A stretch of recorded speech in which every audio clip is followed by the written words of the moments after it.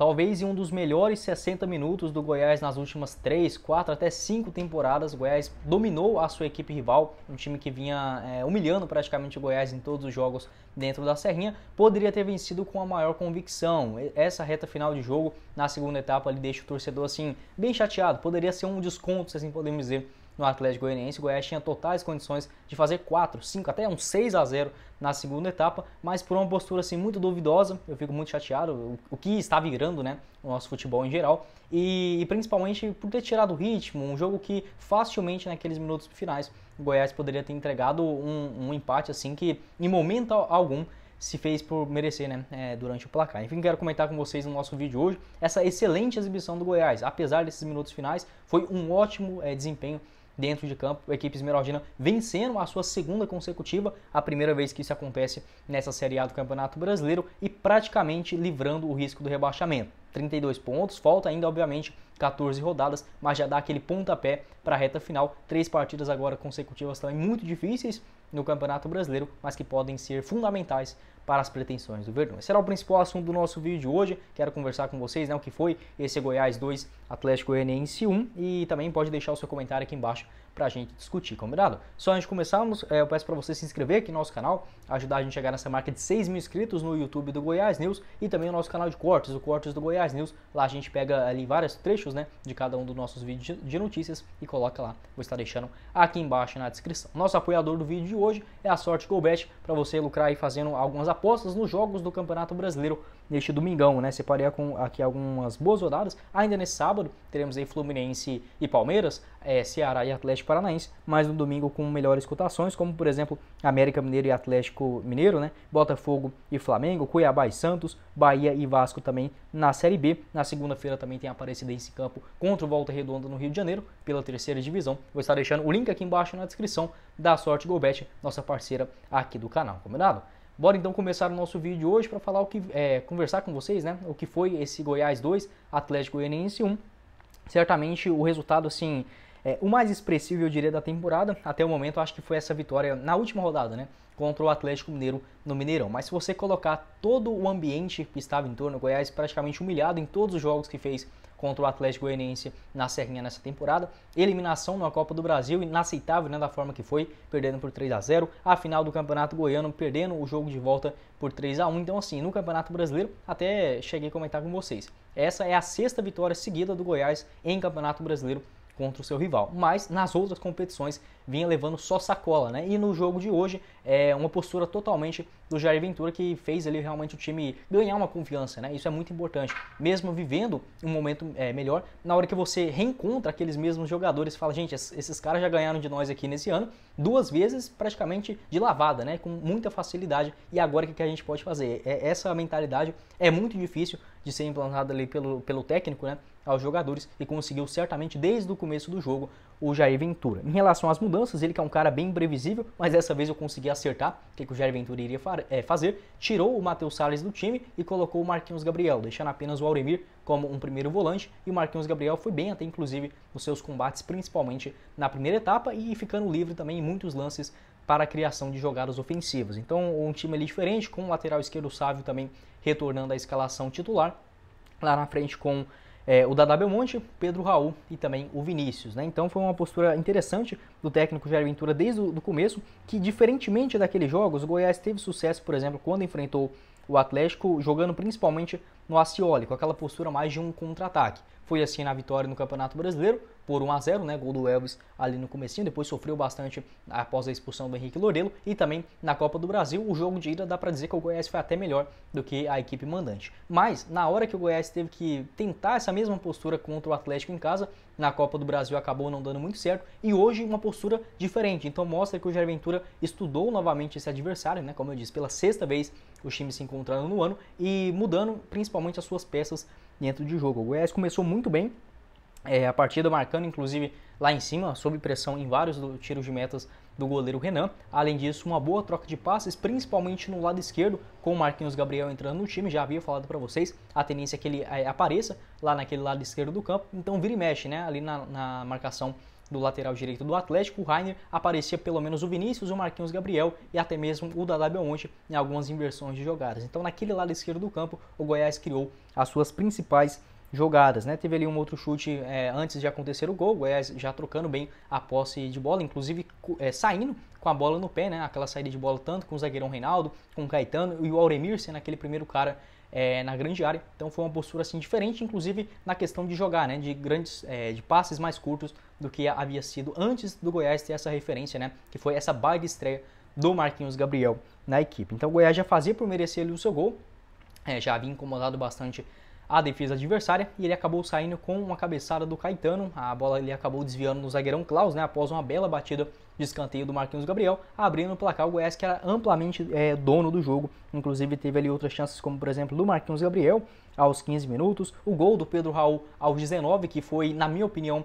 mal anulado. No máximo, se você colocar ali as duas linhas, eles estavam juntos, né? Estavam ali na mesma linha. É, infelizmente aqui no Brasil essa tem uma coisa que eu tô pegando assim, é, até raiva, desgosto realmente do futebol, é por conta de, de arbitragem, aí você pega outras questões também, como por exemplo é, a falta de caráter de alguns jogadores, diretoria, essas questões assim, é uma coisa que todo brasileiro gosta praticamente, né? Que é um esporte, é um futebol, enfim, uma estratégia que o futebol nos oferece, mas essa questão de CBF realmente é uma coisa assim que nesse ano de 2022 eu já era bravo nessa questão de árbitro, esses caras que é, são intocáveis dentro do jogo, né? Na hora de errar, ninguém vai dar coletiva de imprensa, ninguém vai falar sobre os torcedores, né? Que obviamente carregam meio que essa culpa após, por exemplo, uma perda. Se o Goiás perdesse hoje no, pro Atlético dentro de casa, o árbitro lá que anulou o gol dentro do VAR ia enxugar a cara dos torcedores? Acho que não, né? Então assim, é difícil, né? Difícil é, o Pedro Raul ali tendo o seu segundo gol anulado de forma consecutiva dentro da Serrinha. Já havia sido assim um lance polêmico demais contra o Havaí. Na minha opinião, a bola até chega ali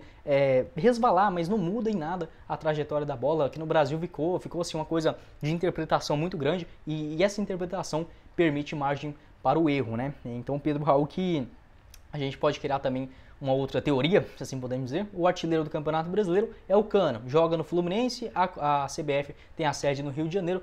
Será que até para escolher o artilheiro do campeonato a CBF tem que colocar o dedo, né? Enfim, é, deixando ali o Pedro Raul com menos dois gols, que certamente se fosse ao contrário, a questão não é essa, né? Justiça tem que ser feita dentro do futebol com o juiz. Mas se fosse ao contrário, certamente, ele é, é difícil a gente cravar isso, mas é, existe uma grande tendência de acontecer o, a, o inverso, né? Quando é contra o Goiás. Então, o gol ali mal anulado do Pedro Raul, na minha opinião, 19 minutos era é assim, para você fazer aquele 2 a 0 ali, o Goiás ia matar o jogo. A tendência era que até continuasse com aquele ritmo e foi o que acabou acontecendo, apesar de estar vencendo ali por 1 a 0, o Atlético não conseguia sair jogando, realmente assim, um jogo desastroso do técnico Jorginho que se antes já tinha dúvida que ia ser demitido, hoje pode cravar, porque horrorosa, né? A escalação dele não funcionou nada, os jogadores ele muito dispersos também, teve que fazer três alterações ainda com menos de 25 minutos de jogo, né? Colocou outros jogadores tanto é, no meio de campo quanto também na parte ofensiva, inclusive tirou dois deles. Então, assim, uma, uma atuação, assim podemos dizer, uma escalação do Jorginho que hoje foi para coroar a sua saída do Atlético, né? Horrorosa, realmente desastrosa essa tarde do Atlético. Como eu falei para vocês, era um jogo para o Goiás ter metido ali 5, 6 a 0 se tivesse a mesma postura do que foi no começo. Mas enfim, né, não vou ser tão crítico assim também. Venceu, né? Tirou essa zica contra o rival. Mas só comentando com vocês, é, o que eu penso também, acho que seria injusto eu ver um lance, pensar uma coisa e na hora de falar aqui ficar só a mil maravilhas com vocês. Né? Então o Goiás teve essa postura sempre é muito muito precisa, principalmente na parte ofensiva. Uma boa criação com o Marquinhos Gabriel. O que estava pecando muito na primeira etapa é o Dadá Belmonte, né? Ele errou praticamente todas as questões ofensivas que ele tentou na primeira etapa. É um cara assim muito, beleza, esforçado, ok, tem uma trajetória interessante no futebol. Não acho que é um cara é, que faz as coisas, por exemplo, de sacanagem, mas a qualidade dele para a Série A, até mesmo para a Série B, é muito duvidosa, né? Então todas as jogadas que o Goiás tentava ali pelo lado esquerdo, eu acho que faltou um pouquinho mais ver o Marquinhos Gabriel. Teve um lance que foi muito interessante, aquele que o Marquinhos Gabriel recebe uma bola rolada, se eu não me engano, do Vinícius e ele acaba pegando de primeira rasteirinho, né? O Wanderson até desvia e o goleiro Renan faz uma bela defesa. Aquele lance foi bem interessante do Goiás. Vários jogadores atacaram a grande área, né? Eu vou até tentar aqui, é, foi aos aos 26, é, salvo engano aqui, foi aos 26 é, esse lance do, do Marquinhos Gabriel. Então o Goiás, vários jogadores, o Vinícius, o Pedro Raul, também, é, por exemplo, o Dadá Belmonte chegando dentro da grande área e a defesa do Atlético indo em direção ao gol e deixando aquela parte central, né, a entrada da grande área muito livre, quase que o Marquinhos Gabriel faz um gol dessa forma. Teve um outro lance do Pedro Raul, é, aos 26 minutos, né, que ele consegue ali uma boa cabeçada, o, Atlético, o goleiro do Atlético faz uma boa defesa, antes das mudanças que aconteceu na equipe rival aos 29 minutos da, da primeira etapa. Né? O Goiás que até tentou sair mais jogando na reta final, deu uma equilibrada após a, as substituições da equipe rival, então ficou ali um jogo meio morno, né? o Goiás cadenciando para a segunda etapa, mas sempre que pegava a bola, uma postura interessante. Ou o Dieguinho, é, é, por exemplo, tomando a bola no meio de campo, ou até mesmo com o Auremir, o time sempre buscando a velocidade. Lembrando, né, aquele Goiás do, ali de 2003, 2005, até mesmo ali, por exemplo, de 2012, um time que sempre buscava o gol, é, de fazer mais gols, enfim, uma postura muito legal hoje do Goiás na Serrinha, principalmente é, no primeiro tempo. Então, assim, terminou é, o primeiro tempo com aquele gostinho que, cara, é, se fosse um, um, adversário qualquer, vamos, vamos supor aqui, Goiás e Havaí. Goiás termina o primeiro tempo dessa forma, ganhando de 1 a 0 A gente fica com aquela sensação como torcedor, obviamente, fala, putz, esse jogo já poderia estar um 2, né? 2 a 0 3 a 0 quem sabe. E, ok, vai para o segundo tempo com a confiança grande. Mas quando é um rival que já bateu tanto em você no mesmo ano, você volta para aquele pensamento e fala, gente, esse jogo era para ter matado agora, porque senão a chance de acontecer uma merda no segundo tempo era muito grande, né? Então, assim, graças a Deus não aconteceu, mas certamente, tanto a falta de sorte do Goiás em geral, né? A bola, em muitas das vezes, foi caprichosamente não quis entrar, e também o gol mal no lado do Pedro Raul poderia custar bastante para um segundo tempo. Veio aí a segunda etapa, né? Após um, nossa, um primeiro tempo muito bom do Goiás. Tem que tirar o chapéu realmente. A postura foi muito boa, não sofreu nada lá atrás e o Atlético também todo bagunçado, né? O que certamente facilitou o trabalho do Jair Ventura. É, no segundo tempo saiu o Maguinho, que estava amarelado, entrou o Caio Vinícius, né, que quase colocou água no chope do torcedor esmeraldino, e o Dieguinho acabou caindo na lateral direita, ficando com dois volantes, o Auremir e também o Caio Vinícius. Muitos torcedores podem olhar para essa alteração e falar, putz, será que o, o técnico Jair Ventura quis recuar o time? Eu acho que não. Eu acho que o Atlético ele, ele é um time que roda muito bem, a bola de um lado para o outro. E se você tendo dois volantes é, para marcação, pode ficar um pouquinho mais equilibrado esse balanço né, da saída do, do volante para a primeira marcação ou algo nesse sentido. E também, principalmente, deixando o Marquinhos Gabriel mais solto na parte ofensiva. Isso certamente pode dar mais liberdade, né, como por exemplo acabou acontecendo com o seu gol. O Auremir levou um cartão amarelo aos 4 minutos, logo depois ele acabou saindo para a entrada do Matheus Salles e o, lance ali do Pedro Raul, né, que ele é, lance aos 5 minutos, uma boa defesa do goleiro Renan após um giro no lado esquerdo. Então, mesmo o Goiás vencendo, voltou para a segunda etapa com uma postura interessante, tocando a bola, enfim, tentando ali achar principalmente o Pedro Raul ou seus jogadores pelo lado esquerdo do campo. O gol do, do Marquinhos Gabriel. Sai logo aos 10 minutos, né, numa finalização ali, quase que o VAR ainda tenta anular, é o Pedro Raul que estava ali em posição de impedimento, mas a bola não vai em direção a ele, né, ele apenas é, meio que, não dá nem para dizer que ele desviou do chute do Marquinhos Gabriel, um belo chute, né, rasteirinho ali, um jogador que é, havia falado que estava com vontade de voltar a disputar uma primeira divisão, um alto nível do futebol brasileiro e já mostrou para que veio, né? Uma assistência no gol do Caetano batendo escanteio, assistência no gol do Pedro Raul também, que foi mal anulado, na minha opinião, pela arbitragem, né? E o outro gol agora é, aos 10 minutos da primeira etapa. Então, na hora que o Goiás fez aquele gol, o torcedor já dá aquela acalmada, fala: putz, agora o jogo está equilibrado, vamos colocar os jogadores para um contra-ataque aí no segundo tempo ou até mesmo manter a parte ofensiva. E quando o Rainer foi expulso, ainda, é, deixa eu pegar aqui quando ele foi expulso, se eu não me engano, foi aos 15 minutos né, é, da, da segunda etapa, logo após, é, aos 59, né, é, do segundo, no, no geral, da, da, partida. Então o Goiás acabou fazendo o seu gol e cinco minutos depois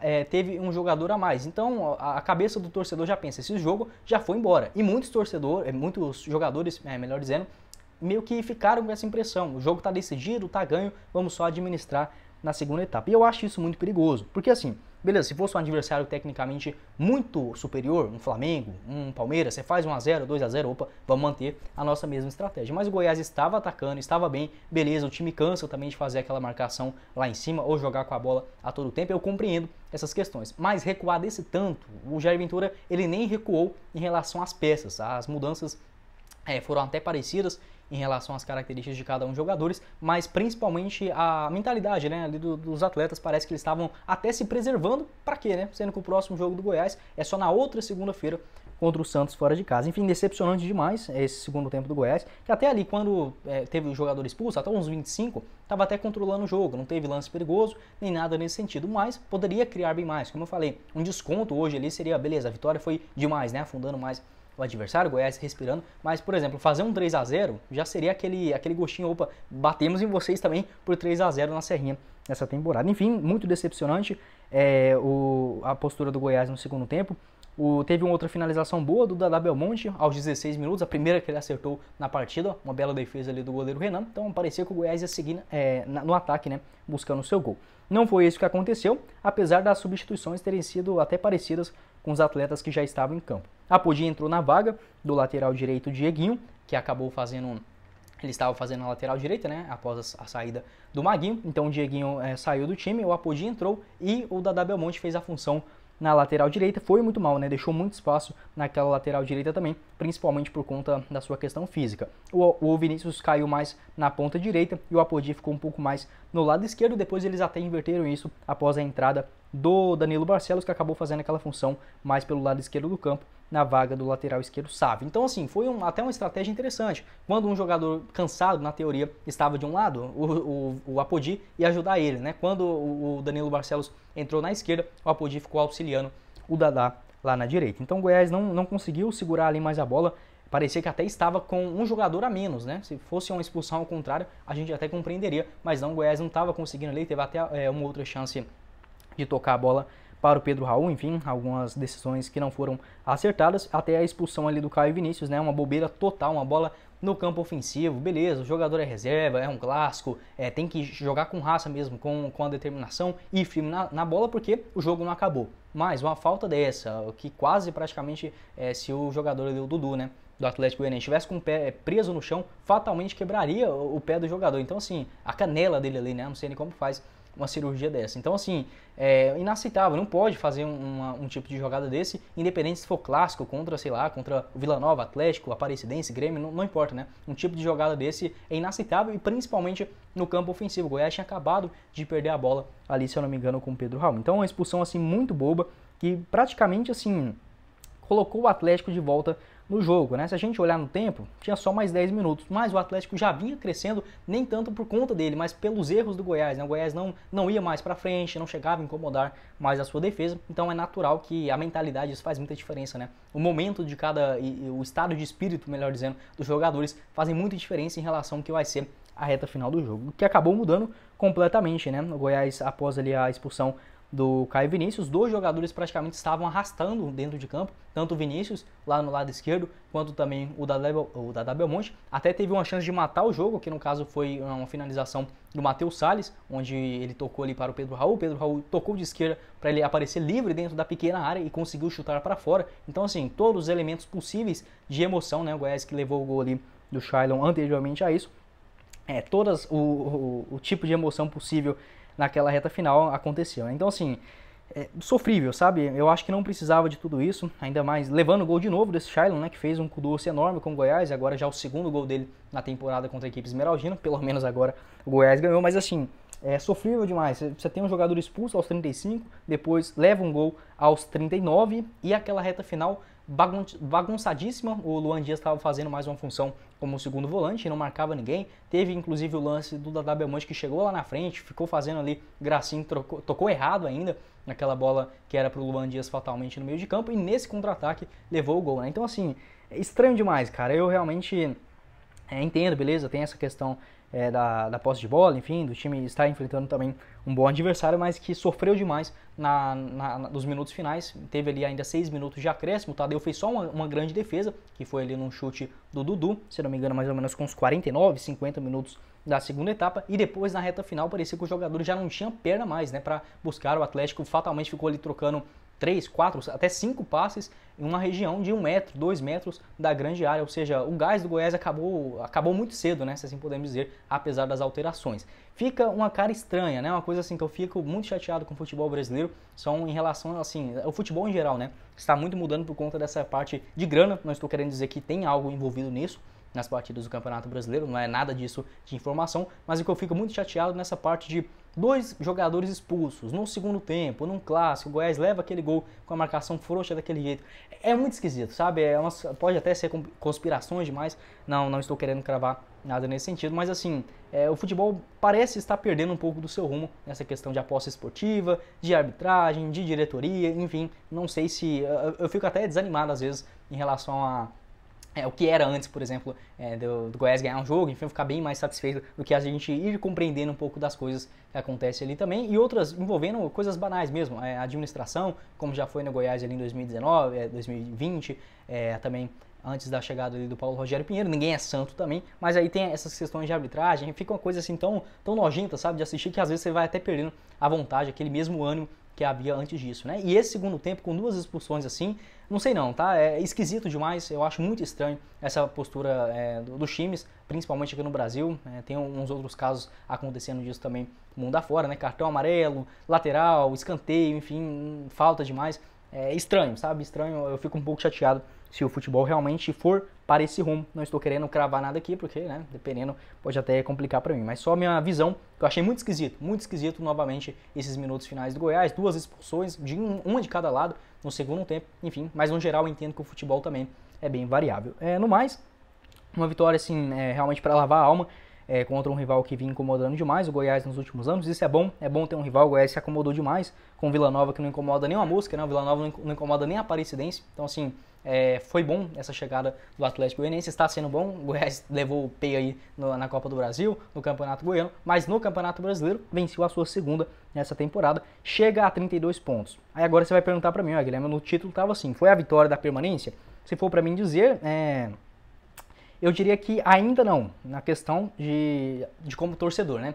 Porque acho que existe duas visões. A gente olhando como um, um admirador, enfim, um observador do futebol, qualquer time, na minha opinião, que hoje já estivesse com 32 pontos, já estaria salvo. Mesma coisa do América Mineiro. Eu não acredito que o América vai cair mais. Mas quando é o time da gente, parece que a gente sempre fica naquela dúvida de fazer um tipo desse de afirmação. Eu ainda fico, assim, se fosse para apostar meu dinheiro, eu não apostaria ainda se o, Goiás aí vai ficar na Série A 100%. Né? Sua, ó, vai apostar sua grana inteira aqui nesse jogo? Não, aí não. Mas é, na minha visão de hoje, o que vem apresentando o time, fatalmente o Goiás irá sim jogar a Série A no ano que vem e principalmente se conseguir uma vitória nesses próximos três jogos bem cabeludos, né, contra o Santos fora de casa, contra o Flamengo na Serrinha ou contra o Bragantino fora de casa. Se o Goiás buscar três pontos em um desses jogos, ali, uma vitória ou até mesmo uma vitória e um empate, aí já dá para pensar em coisa ainda maior, tá? Então assim, 32 pontos, nona colocação, pode não ser uma distância é, absurda em relação ao primeiro time da zona, que hoje é o Cuiabá que tem 24, mas ele ainda joga. Eu acho que o Cuiabá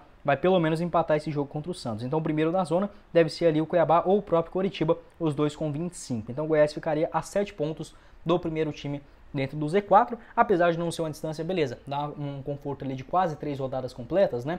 Mas você coloca muito time entre o primeiro time dentro da zona e o Goiás, né? Tem o América com 31, que não jogou ainda, o Bragantino, São Paulo, Fortaleza, Botafogo, Ceará e Curitiba. São seis clubes antes do Goiás, ou seja, é, dá para o Goiás pelo menos é, um time, por exemplo, o, o aproveitamento dessas equipes dentro do Z4 é muito baixo, né? Então o Goiás ali, pelo menos com essa pontuação, ele não possivelmente não vai entrar na zona de rebaixamento nas próximas cinco rodadas, independente do que acontecer. Então já é um passo bem importante para esses últimos é, 14 jogos, né? O Goiás vai precisar pelo menos aí de três vitórias e mais uns dois empates, vai três vitórias e dois empates, mais 11 pontos, 43 pontos, eu acho que já dá para salvar essa Série A do Campeonato Brasileiro. Enfim, quero saber sua opinião aqui embaixo nos comentários. Satisfeito demais pelo futebol, um bom futebol do Goiás no primeiro tempo, uma alternativa ali diferente, né, do, do que vinha sendo essa cara de um time de um contra-ataque. Mostra que o Jair Ventura não é um técnico de uma nota só, mas chateado pelo que foi o segundo tempo. O Goiás quase entrega um resultado que estava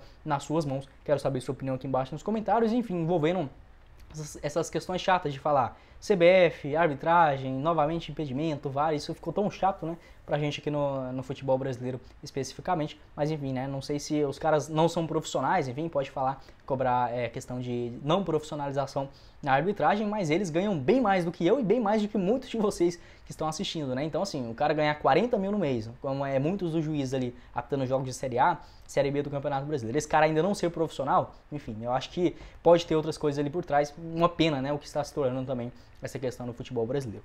É, quero saber sua opinião, né, sua avaliação a respeito dessa vitória por 2 a 1 E para você, você acha que o Goiás já dá para cravar? Vai jogar a Série A no ano que vem? Isso será muito importante também, visando a montagem do elenco. O Goiás chegando ali nas últimas quatro rodadas, já praticamente encaminhado, pode pensar em algo a mais. Sul-Americana, Copa Libertadores, por que não? E até mesmo na montagem do elenco. É bem mais fácil você convencer um jogador a jogar no seu time disputando a Série A já em novembro, né? Basicamente ali no comecinho do mês já garantido, do que aquele sufoco na reta final da primeira divisão. Bom, esse foi o vídeo, eu espero que vocês tenham gostado. Não esqueça de deixar seu like aqui embaixo, também se inscrever no nosso canal e ativar as notificações. Peço até perdão é, pela voz de hoje. Aqui em Porto Alegre ficou calor do dia para noite, assim que realmente está um calor igual de Goiânia, 32, 33 graus, que está bem difícil. E aqui fica muito frio, depois muito calor e acaba que a voz vai embora, né? Mas enfim, deu para comentar com vocês o que foi essa partida e vamos conversar aqui embaixo também qual a sua visão dessa vitória do maior do Centro-Oeste, né, contra um rival que é para lavar a alma para tirar essa zica para a reta final do Campeonato Brasileiro. Vou estar deixando o link aqui embaixo na descrição, tanto do meu Instagram pessoal, arroba Machado, underline Jack, quanto também da Sorte Golbet, nossa apoiadora aqui do YouTube do Goiás News. Quem falou com vocês foi o Guilherme e nos vemos na próxima oportunidade. Meus caros esmeraldinos. Valeu, galera!